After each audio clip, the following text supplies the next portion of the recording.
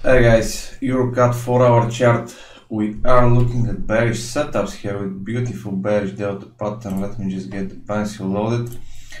Just a second. As we can see on the um, scanner here, 4 hour chart in EURCAD is already showing bearish momentum. Weekly and daily and monthly, yes, still pushing upwards, but that doesn't mean we cannot enjoy the shorter moves.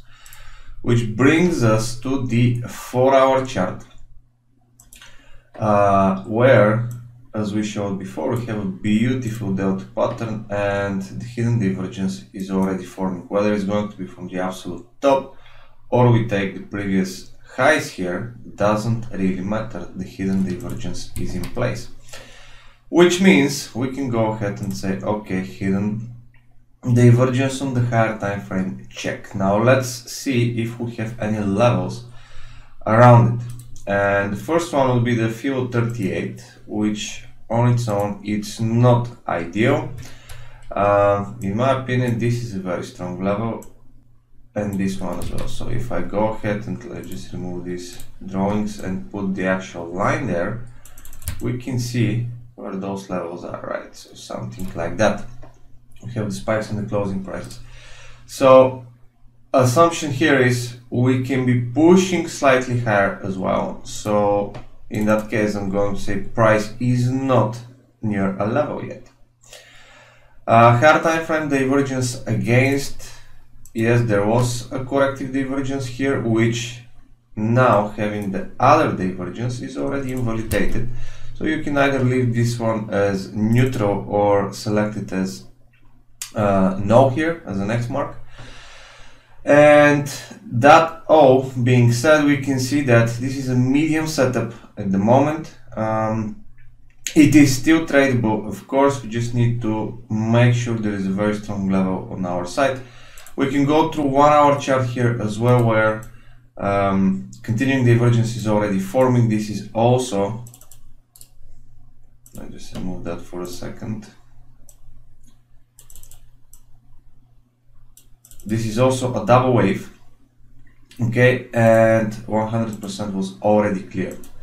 In other words, you can see where 161.8 is pointing. It's right there to the level we marked manually, and that's why uh, knowing how to draw and spot levels manually without any indicators, pure price action is really valuable skill, guys, and it's it, doesn't take much. Okay, just a bit of practice, and I'm sure um, you will become very, very good at it. So um, again, it confirms that the level is not exactly there. On the 15 minute chart, we already see first divergence that was formed. We see here the second divergence that was also formed, okay, which was not picked up by the indicator. But uh, technically speaking, if we see break below here, we can have already first entry all right now since this is slightly more aggressive having a close below that zone especially below the 100% zone would make it much more valuable to me. Right because then we know 100 has been cleared and we're getting false break of it. On the other hand getting just a spike here and holding above it means we're very likely to continue towards the next level. And in fact if we go ahead and uh, draw the figures again, you'll see that this zone is exactly in between the 50 and the 38, right? right here.